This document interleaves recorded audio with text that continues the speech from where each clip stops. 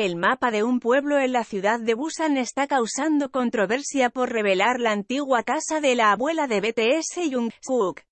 Según el periódico Busan Ilbo, el Centro de Bienestar Social de la aldea de Yeonsan en el distrito de Yeonje de Busan y el Consejo de Seguridad Comunitaria del distrito de Yeonje publicaron un mapa de la aldea de Yeonsan en 2021.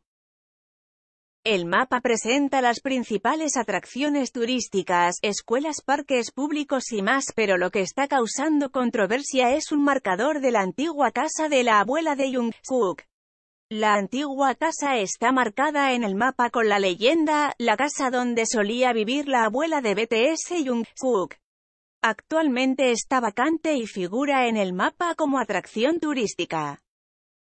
El Centro de Bienestar de la aldea de Yeonsan explicó, cuando elaboramos el mapa de la aldea, se sugirió que deberíamos incluir elementos interesantes por lo que decidimos incluir ubicaciones relacionadas con las estrellas ídolo.